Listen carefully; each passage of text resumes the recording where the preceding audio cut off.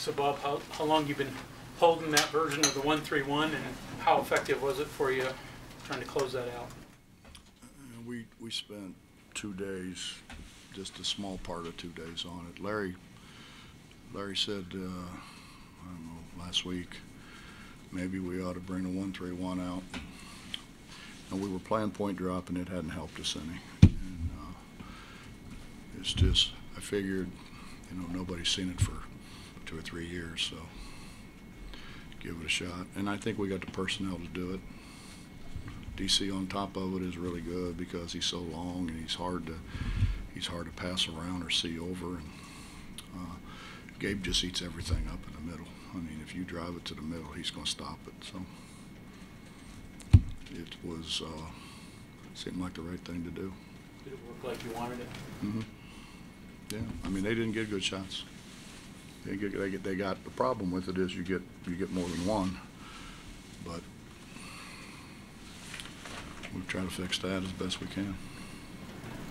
Coach, I wonder if you could take me through Gabe earlier in the second half, shoots a three-pointer for really no good reason, you bring him out, and then, you know, later on in the game, he comes up with the key offensive rebound in the game. I mean, is that kind of the highs and lows that can happen in one game over the course of, you know, ten minutes or so? Um, I'm not sure I can say what I want to say. Uh, he- He knows better than to shoot the three. I mean, he was, I think he was frustrated. He was, well, I think one, he was tired. Two, he was frustrated because he had just missed two free throws. And then we're dumb enough to throw the ball to him, not, not thinking he might not, he might shoot it. So, uh, yeah, he knows better than that. I mean, if you're going to shoot that, shoot it when we're, you know, we're playing somebody and we're up 30. And then let me take you out. I'm still going to take you out. But, I mean, he forgets about it, right? I mean, he comes back, makes the offensive rebound of the game. Justin, please don't ask me to get inside his head. okay.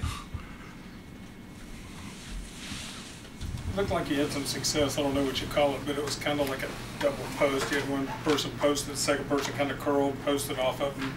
A hand there, was that something you thought would work well against them or something you've been looking at with your personnel? I've ran it since Walsh. Yeah. And Taz is a good guy to run it. He reads the defense pretty well. And it's great to have Sean coming off of there because if they don't really pay attention to Sean, he's apt to make a three. Bob, to follow up with what Justin asked, the the players all said that Gabe's offensive rebound on the missed foul shot was the play of the game in, in their opinion. You? It was huge, yeah, it was huge. Uh, Gabe made a lot of plays. Taz made a lot of plays, and a lot of those guys made plays. Um, But yeah, I think it shocked everybody that we kept going up there and missing. They figured one of them may go in, maybe they bank one or something, but, um, yeah, I mean, he's good at that. He's good at keeping, keeping balls alive. Bob, the personnel in the one three one, I don't think that point guard. Yeah, Katie was in the back. Katie, Katie was in the back, and then, and then at the end, we, we put Taz back there for more size. I will go as point of Taz was, Taz was back in the, was, the- the point guard's in the back. Point Right. guard's always been in I the wasn't back. thinking that point of. No. Um, I was just curious, that's all. Katie was back there the- the first time we did it, and then after the timeout, we put Taz back there because we needed more size. Was there any thought to fouling in the final seconds to defend them, or what's your kind of philosophy on that? Why? Why? So they can go make one, miss one, they, the way they offensive rebound it with their athletes?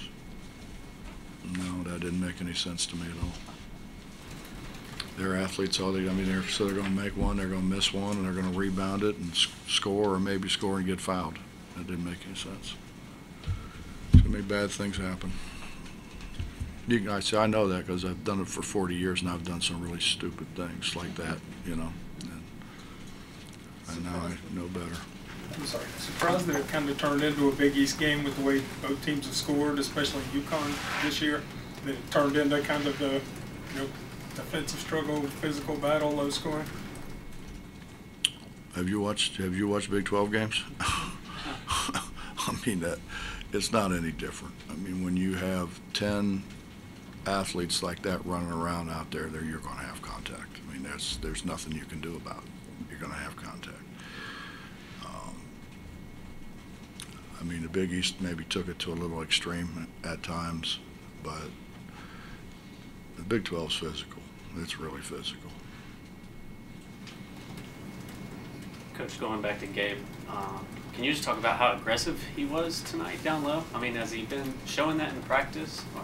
We thought we had an advantage. I mean, we we, we thought that watching uh, watching their uh, Michigan State game. We thought Gabe could could be an advantage down there just because of his girth.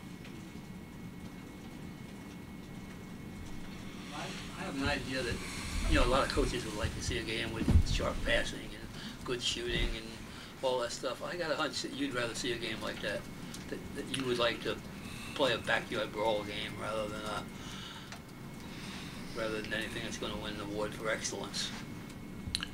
Well, I, I'm not sure why, Bob, but I think historically my teams have been that way. I mean, they've been they've been physical. Um, probably has something to do with the way we practice, I would guess, and probably the type of people we recruit. Tests, tests you, but it probably tests the other team more, doesn't it? When you put them in a physical game, especially if they're not used to it. I don't, I've never been on that side. Never. Never been on that side. Coach Taz said that the free throws would be fixed. What do you say? There's only one way you fix them, and that's go in and work on them. And, uh, I think at least most of them will. You know, I mean, they, they've got the greatest facilities in America. I mean, they can, that place is open 24/7 for them, so. And there's two, four, six baskets in there. Confidence elevation standpoint, where's this win rate in terms of maybe, you know, top 15 team getting a win? It's probably it's probably half and half. I think I think our our older guys, you know, Taz, Sean, JB, they're used to playing in games like this. Uh, Gabe, that that core of guys are used to it. I think maybe the guys coming from coming from the other schools, uh, they they probably haven't seen that kind of physicality, but they did today, so they they need to get used to it. It's probably going to be the way it is. Kind of interesting coaching psychology here, going back to the free throws. When you shoot like that as a team and lose, it's easy to go in the locker room after the game and yell and scream and get off. When you shoot like that and win, what's, is there a difference? No, Okay. no, I didn't yell and scream, but I don't know if I would have yelled and screamed if we would have lost. You know, it's they know what they know what they got to do. It's it's not particularly those older guys. They know what they got to do, and and if they're going to be what they what they portrayed they were going to be, they'll get the rest of those guys in there.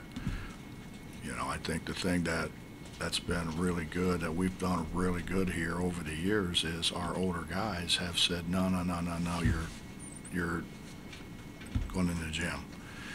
You're not you're not hanging out here you're going in the gym.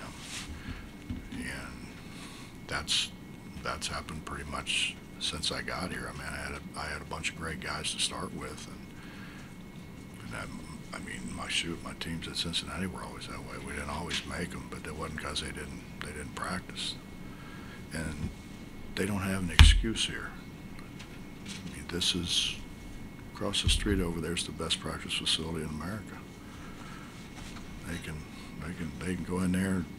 That's like one-stop shopping. You go in there and lift. You go, you go get your shots up. You go get treated. You, you know, you've got the whatever that light bed thing that for for rehab. You've got you got everything. So should use it. Did you come into this game thinking you guys could hang with them on the boards like you did? I knew we had to be close. Right. I knew we had to be close. I think the good thing was they didn't get a whole lot of, of, they got a lot of rebounds, but they didn't get a lot of second chance points.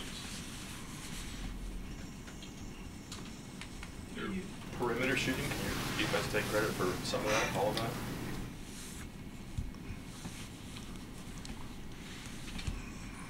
I, I think we got much better. Uh, that, you know, we had a, we were good and then we had a stretch where we were standing on the side of them. It's hard to stop penetration when you're on the side of the guy. And that was pretty much our conversation at halftime was, we gotta stop being on the side, we gotta get in front, whatever it takes, get back in front.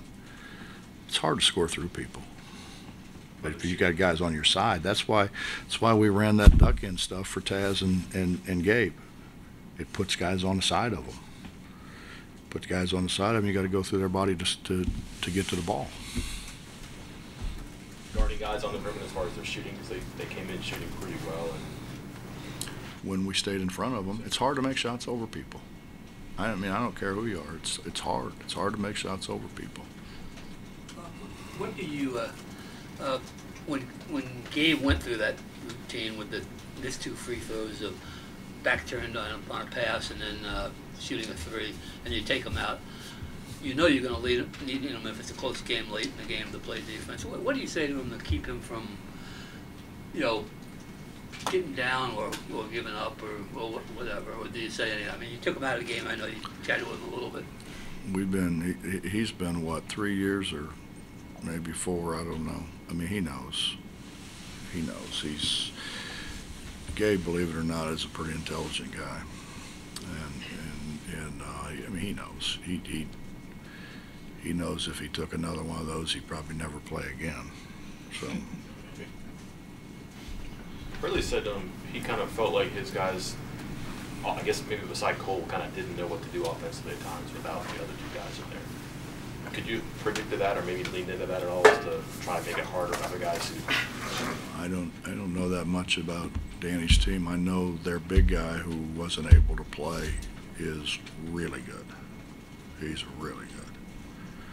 I mean, he's, he's built like, if you remember DeJuan Blair, he's built like DeJuan. He's, he's bouncier.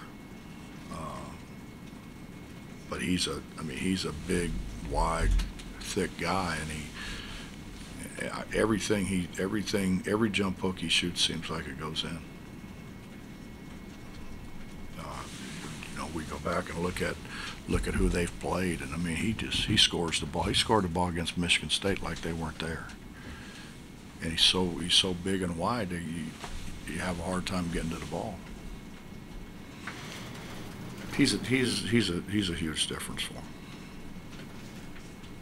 Could you see them kind of rudderless at times out there? Is that like a plan B or?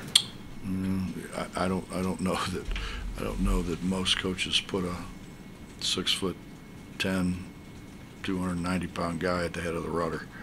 Uh, you know, he, he, he's usually the guy pulling the weight. Anything else? Yep.